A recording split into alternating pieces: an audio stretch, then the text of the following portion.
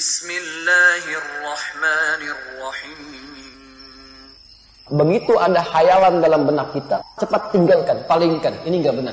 Ada teman lewat dengan sesuatu yang baru, handphone baru, ada otomatis ada pikiran di benak Anda tiba-tiba Saya pengen juga yang begitu. Kemudian mulai membayangkan sesuatu, langsung hilangkan. Tepis, ini nggak benar. Itu bukan punya saya, itu punya dia. Maka kemudian turun ayatnya. Seorang lelaki akan meraih keutamaan atas apa yang telah dia ikhtiarkan. Demikian perempuan bisa meraih apa yang dia harapkan sesuai dengan ikhtiarnya. Jadi kalau dalam bahasa singkatnya, kalau kamu ingin mendapatkan seperti nikmat yang melekat pada dirinya, ayo berikhtiar seperti dia pun telah berusaha sebelumnya. للرجال نصيب مما اكتسبوا وللنساء نصيب مما اكتسبن.